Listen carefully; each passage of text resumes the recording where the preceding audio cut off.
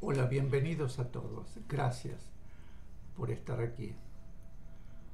Hoy, Misión de Amor, la obra de Cristo nos lleva a la lección 12. Seres recién desencarnados, plano astral. Pero antes de comenzar, iremos a la invocación al Cristo. Cristo amado, Permita mi espíritu elevarse hasta tus plantas para beber en las verdaderas fuentes de la sabiduría y absorber tus vibraciones poderosas de amor y fe, de purificación y fuerza espiritual, de poder espiritual, de paz, comprensión, salud, prosperidad y armonía para derramar sobre mis hermanos Como ya sabemos, en nuestro mundo, al igual que en otros mundos físicos, existe el plano astral, constituido por varios planos físicos invisibles, además de un plano espiritual que corresponde a los aspectos espirituales que han venido a experimentar a la Tierra. Todo lo que ocurre en el mundo se refleja en el plano astral y esos reflejos permanecen. Para los seres que han desencarnado y están en el plano astral, esos reflejos son sustancia aparente, como aparentes son también sus propios cuerpos de forma. Todas las formas y sus propias formas son aparentes, no son realidad. Todos sus cuerpos las formas y demás, solo es apariencia. Pueden tener sensaciones, pero todas las sensaciones que sientes, sienten son aparentes, provenientes de sus cuerpos físicos que aún conservan, que son cuerpos aparentes, que no tienen dimensiones ni ocupan lugar en el espacio. Y sus sensaciones son la reminiscencia del estado físico visible anterior. Pregunta. ¿Cuál es la actividad que desarrolla la partícula espiritual después de desencarnar? Explicación.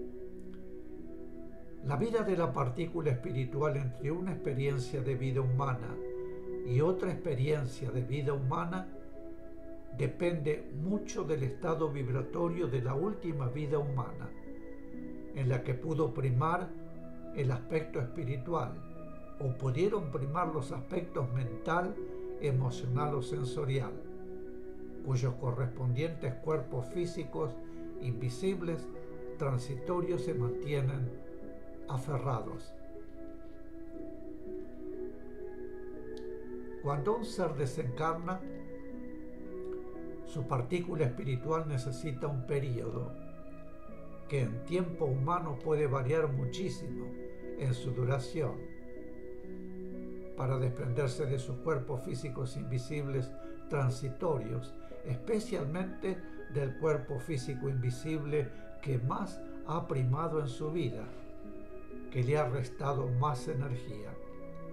Esto no puede hacerlo con facilidad, pues debe desprenderse por propia voluntad por conciencia del estado en que se encuentra y de su necesidad espiritual.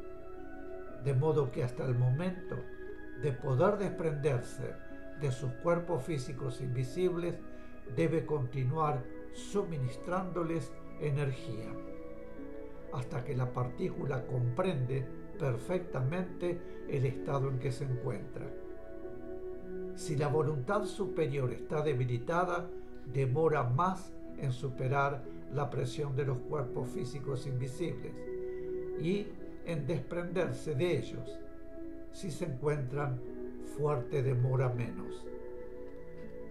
Si se encuentra fuerte, demora menos. Todo ese proceso puede ser muy prolongado.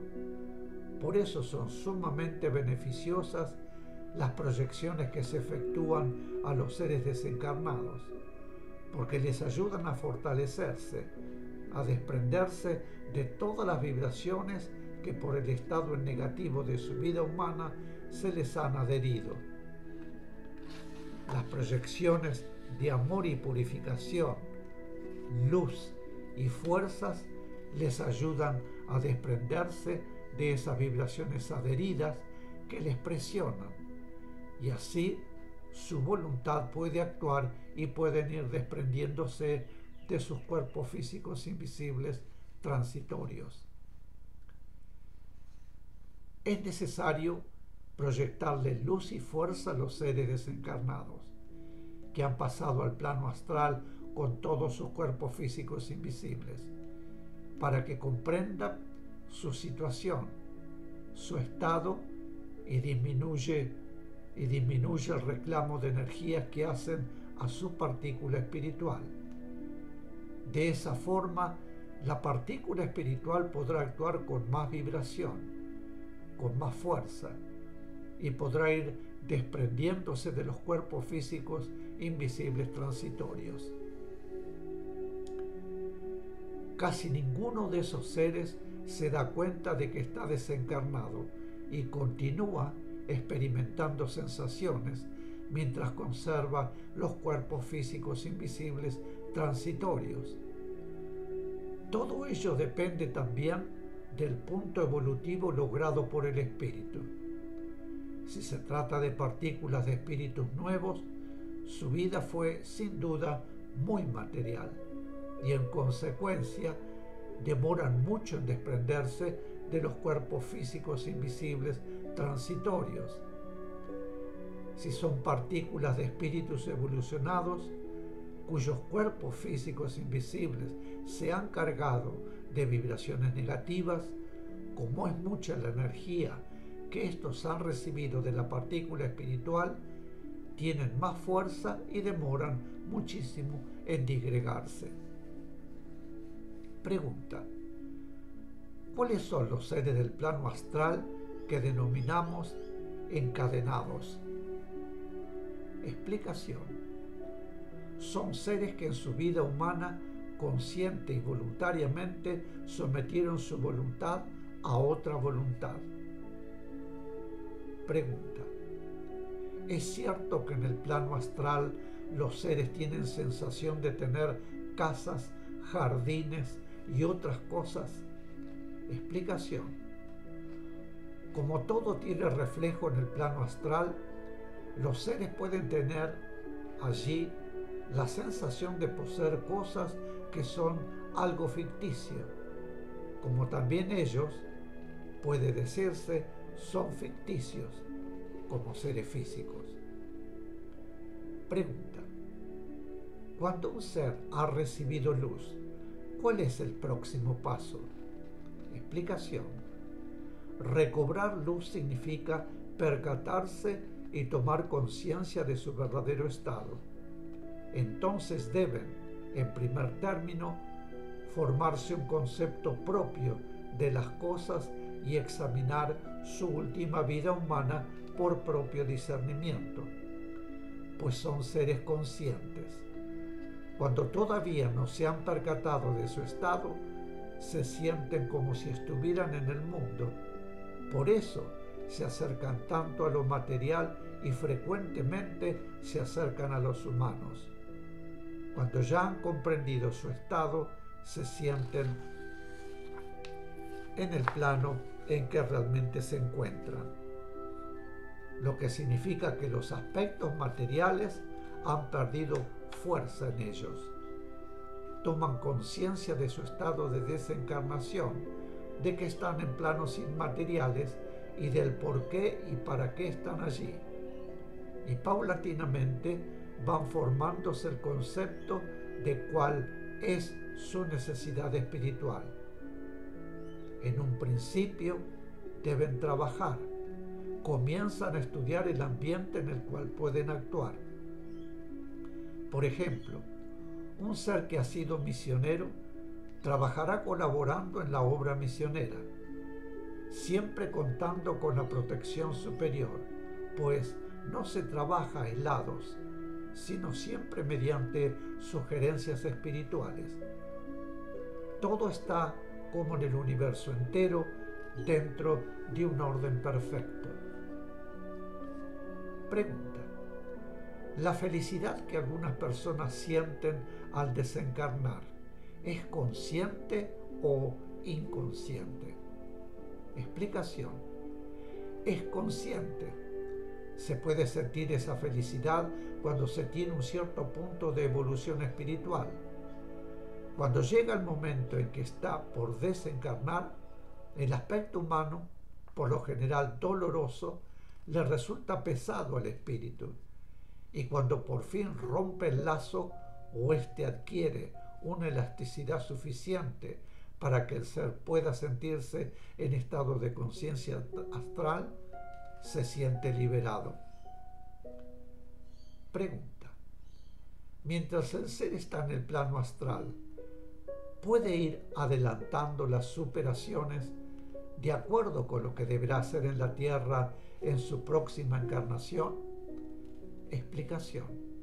No. No puede superar en el plano astral, pero puede preparar su próxima encarnación de acuerdo con su necesidad espiritual. También puede ayudar a otros seres encarnados en la tierra que tienen sus mismas necesidades de superación en su esfuerzo por lograrlas. En esa forma, su esfuerzo de bien para ayudar a realizar las superaciones a seres que tienen sus mismas necesidades se va fortaleciendo espiritualmente en esos aspectos.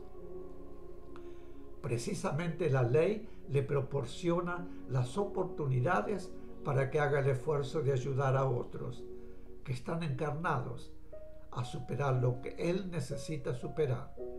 Así, cuando realice una nueva encarnación con esa necesidad kármica de superación, ya se ha fortalecido espiritualmente y además tiene méritos adquiridos para, a su vez, recibir ayuda fraterna en ese aspecto. Pregunta. De modo que en el plano astral no se realizan superaciones. Explicación. No, porque en el plano astral los seres no encuentran obstáculos que deban superar. Pregunta. ¿Por qué algunos seres sufren dolor en el plano astral? Explicación. El dolor lo sufren al ir tomando conciencia espiritual y percatarse de lo que han hecho en su vida humana y de las oportunidades que han perdido. Entonces experimentan dolor porque se sienten demorados en su necesidad de progreso evolutivo. Pregunta. Los seres que debían realizar una tarea en la Tierra y no la han realizado íntegramente, ¿pueden continuarla en el plano astral? Explicación. Sí. Si debían realizar una tarea y no la han cumplido por haberse desviado de ella, no pueden continuarla en el plano astral pero si es una tarea que debe ser realizada, parte en la tierra y parte en el plano astral, entonces sí, la continúan en el plano astral. Hay tareas que se comienzan en la tierra y se continúan en el plano astral, porque muchas veces la vida humana no alcanza en lo que a tiempo se refiere. Además, es necesario estar en otro estado que le otorga otra capacidad. Todo depende del punto evolutivo logrado por el ser. Mis queridos, aquí haremos una pequeña pausa. Vuelvo de inmediato. Muchísimas gracias.